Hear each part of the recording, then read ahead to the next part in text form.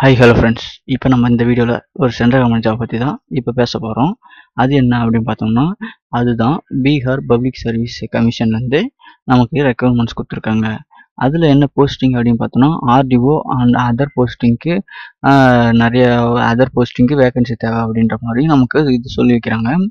அது மட்டும் இல்லாமல் இங்கே நான் சொல்ல வர்றது என்ன பார்த்தோன்னா அவங்களுக்கு டோட்டல் வேகன்சி நானூற்றி முப்பத்தி நாலு வேகன்சி இருக்கிறதா அவங்க அவங்க சைட்லேருந்து அஃபிஷியலாக சொல்லியிருக்காங்க.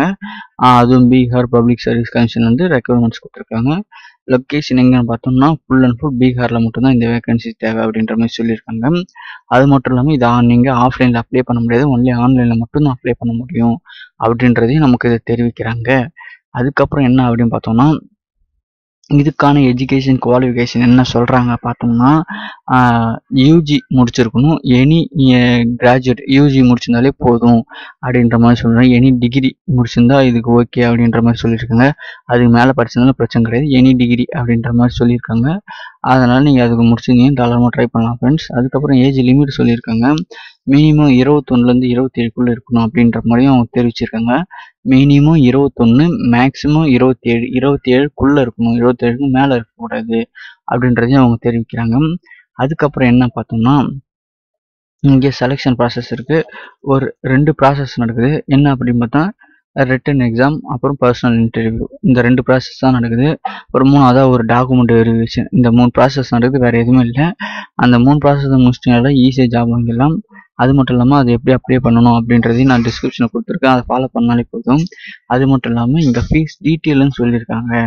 என்ன அப்படின்னு பார்த்தோம்னா ஜென்ரல் ஓபிசி கேண்டிடேட்டுக்கு ஆறுநூறுரூபா சொல்லியிருக்காங்க.